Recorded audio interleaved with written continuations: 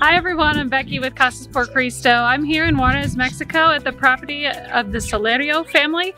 We want to say thank you for coming and blessing this family, showing them God's love, and hopefully changing their lives completely with this experience. We're so excited to introduce you to this family. Let's go meet them.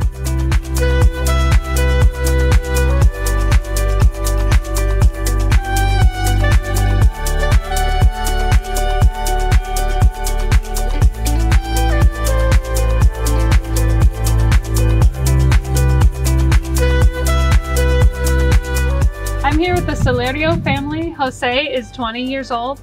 Rosita is 29 years old, and they have a son who's five. His name's Israel, and he is in school today.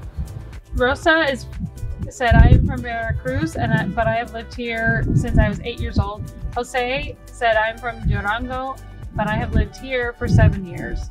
Yo soy carpintero. I work as a carpenter and I stay at home as a homemaker. This house will impact us both physically and spiritually in many ways. It's really going to change our lives because right now we are moving from place to place. We're living with our parents and then our in laws also, and we just don't have a stable place of our own.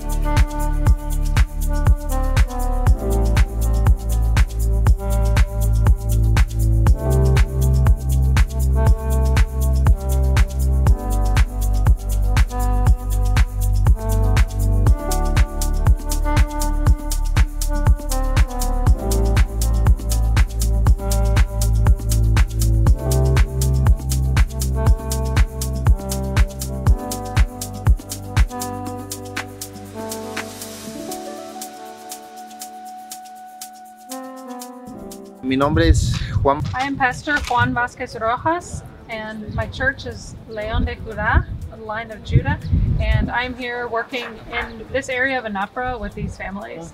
¿Cómo la elegí?